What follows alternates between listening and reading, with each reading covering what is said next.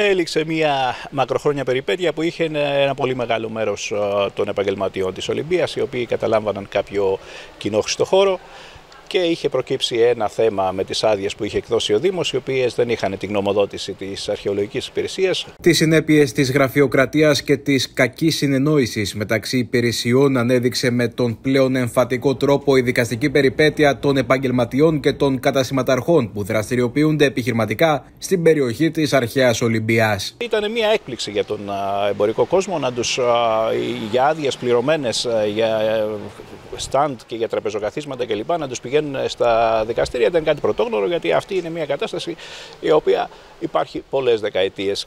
Και κάποια στιγμή έτσι ξαφνικά να βρεθεί ο άλλος κατηγορούμενος σίγουρα ήταν κάτι ε, πρωτόγνωρο και δυσάρεστο. Η πρωτοφανής για τα ηλιακά δεδομένα υπόθεση με το μεγάλο αριθμό των κατηγορούμενων, 47 στον αριθμό, είχε αίσιο τέλος, καθώς η απόφαση του δικαστηρίου ήταν τελικά για όλους αθωωτική. Είναι πρωτόγνωρο για τα ηλιακά δεδομένα να έχουμε έναν ε, ολόκληρο εμπορικό κόσμο μιας συγκεκριμένης περιοχής όπως είναι ο Δήμος της Αρχαίας Ολυμπίας ε, κατηγορούμενου.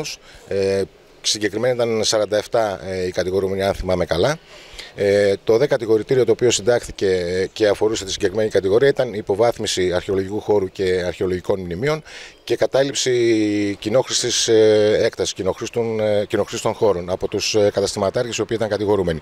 Ε, διενεργήθηκε η απαραίτητη προκαταρκτική εξέδραση, έγινε προανάκριση και ε, εισήχθη η υπόθεση στο ακροατήριο.